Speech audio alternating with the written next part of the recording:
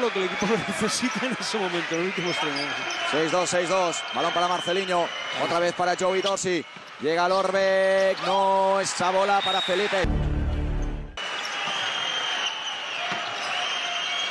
Juega Oleson para Marceliño Huertas. 5.40 para el final. Marceliño pide el bloqueo de Tomic, que también ya está en pista, igual que Rudy. El lanzamiento de tres de Nakmar. No, el rebote lo lucha Papa Nicolau. Se lo lleva Oleson. Deja para Marceliño Huertas.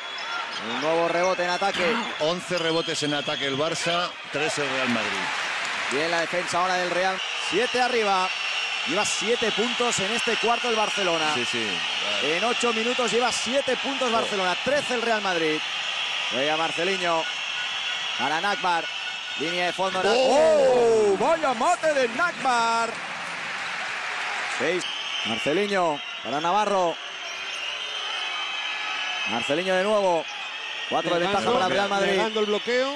Marceliño para Costas Papa Nicolau en el triple. No, el rebote largo para Rudy. Falta. Claro, es menor ventaja interior del bloqueo y mayor, lógicamente, porque la defensa no puede pararlo todo, mayor ventaja de los exteriores que para tirar, ¿no? 5-11. Ha Metido 11 puntos el Real Madrid en 3 minutos y medio. Marceliño, el bloqueo arriba de Tomic. Marceliño, se lleva el tapón de Draper. decir, algo, algo que Draper está consiguiendo mucho mejor que los anteriores es la jugada del pick and roll. ¿eh? Y este es un, un- un ejemplo. ¿no? posiblemente la está, que la ha está sido- negando, Sí. la, la está anticipándose. No, el rebote largo se lo lleva Papa Nicolau. Hablábamos con lo de Víctor Sada, ¿no? La importancia que le da el Barcelona a, a- a Sergio Rodríguez, la importancia que da el Madrid a Juan Carlos Navarro.